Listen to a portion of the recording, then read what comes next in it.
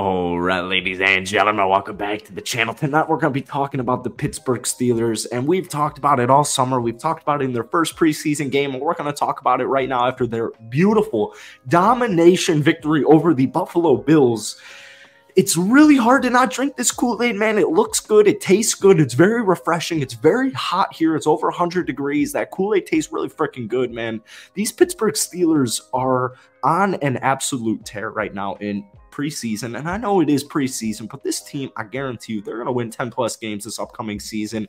Nonetheless, preseason game two victory over the Buffalo Bills. We saw Kenny Pickett for one drive. Another beautiful possession.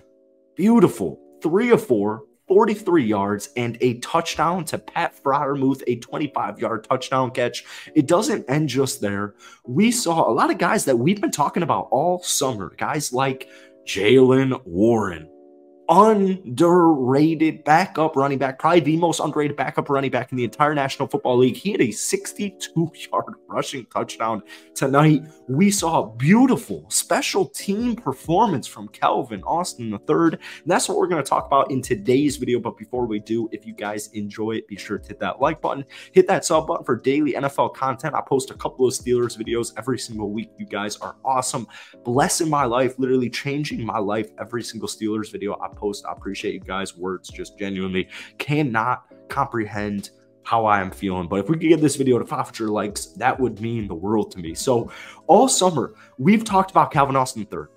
All right. And in his first preseason game, we saw Calvin rush a couple times. We saw him catch a couple of balls. He had almost 100 yards from scrimmage in the first preseason game. But since he did not play in his rookie season this past year after getting injured, uh, getting drafted out of Memphis, it, I, I, wanted to like manage my expectations because I'm thinking, I'm looking at myself, I'm like, all right, Diontae Johnson, George Pickens, the loaded tight end room, the loaded running back room, the revamped offensive line from the start of last season, new addition Allen Robinson.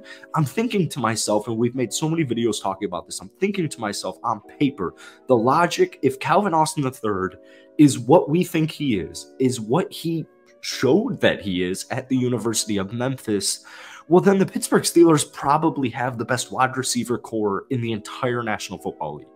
And I know that might sound crazy, but it really is not. You have Diontae Johnson, George Pickens, and Allen Robinson. By the end of the regular season, that will be at worst a top 10 wide receiver trio in the National Football League. To me, it's closer to top five. And I actually think it's more closer to top five as it is right now. But I understand George Pickens is young. Allen Robinson's dealt with a couple of injuries last couple of seasons, whatever, whatever. So we've been saying on these videos, if Calvin Austin III in this speed, and if Matt Canada, Kenny Pickett, and this Steelers offense can put him in the right positions to be that X factor, to be that playmaker that they drafted him for, well, then watch out, NFL. And so, like I mentioned, we saw Calvin catch and run several times in the Steelers' first preseason game against the Tampa Bay Buccaneers. Well, today we saw we saw catch. It was a nice catch, but special teams. He had in the first quarter a 54-yard punt return. This could be game changing. I mean, Calvin Austin III in general could be game changing, but watch out for the Pittsburgh Steelers special teams this upcoming season because if Calvin Austin III is getting you 54 yards on a punt return, there's something there. You know, there is certainly something there. And I, like I said, it's preseason and we've talked about it, and I don't want to jump the gun, but it tastes great. The Kool Aid tastes really freaking good. It's perfectly iced. It's not watered down. It's perfectly iced. It's crisp and it's refreshing. And if Calvin Austin III and everything we think he can provide for the Steelers, now I'm not talking, I'm not saying he needs to be Tyreek Hill. He doesn't need to be the next Tyreek Hill. I don't need 1,800, 1,500 receiving yards from Calvin Austin III next season.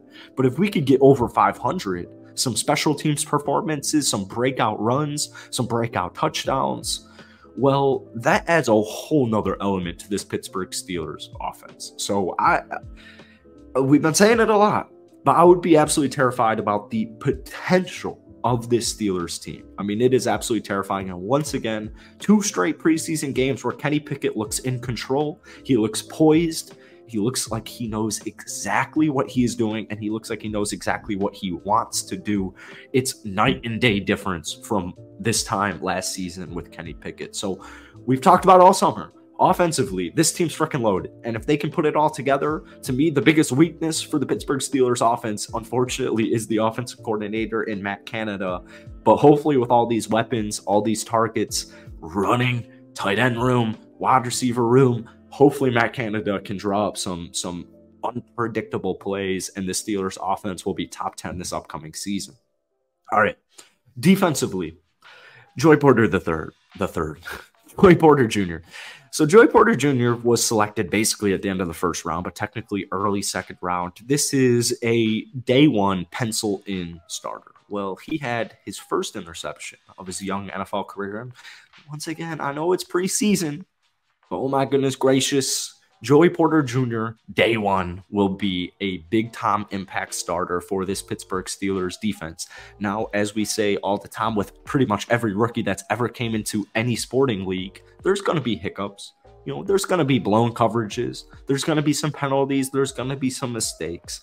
But by the end of the season, I guarantee you, if the Pittsburgh Steelers are what we think the Pittsburgh Steelers are going to be this upcoming season, I guarantee you, think about the Kansas City Chiefs the last year. They had so many unproven rookies in their secondary, to be specific. Play the rookie, play the rookie season. The Chiefs defense was all right. By the time the playoffs come, you're not a rookie anymore. It's time to step up. And that's what I love about Joey Porter Jr. is not only is he a phenomenal football talent, but he has that it factor you know, he wants to make plays. He wants to hit people. He wants to get those pick sixes. He wants to change. He wants to get that momentum going for your offense, for your football team. And that's something you just can't coach. You just can't coach the mentality that a guy like Joey Porter Jr. has. And it's not just Joey Porter Jr., it's pretty much every single player on the Steelers and every single player that they drafted this past year. We see these rookies, man. These rookies are producing. I mean, they're producing day one. And like I said, we'll say it for like the 80th time in this video. It's preseason. I'm fully aware it's preseason. But nonetheless, man, these Pittsburgh Steelers, I guarantee you they're licking their chops as they should be. And it's funny how like the preseason narrative is just kind of funny in general because it's like, you know, if a quarterback, if a young quarterback or if a rookie does bad, it's like, oh, it's just preseason. But if they do good, it's like, oh, it's just preseason. So I would take the latter in that. Um, I want my guys to do good in preseason as opposed to doing bad in preseason because that's just common sense. So that's what the Pittsburgh Steelers rookies and young players are doing right now in preseason and training camp and just all summer in general. So that's it for tonight, man. I hope you guys enjoyed it. Beautiful Pittsburgh Steelers domination victory over the Buffalo Bills. If you did, be sure to hit that like button, hit that sub button for daily NFL content. Let me know some comments down below on your thoughts from tonight's victory over Buffalo. And uh, that's it from me, man. Hope you guys have a great rest of your weekend, and I'll catch you guys later.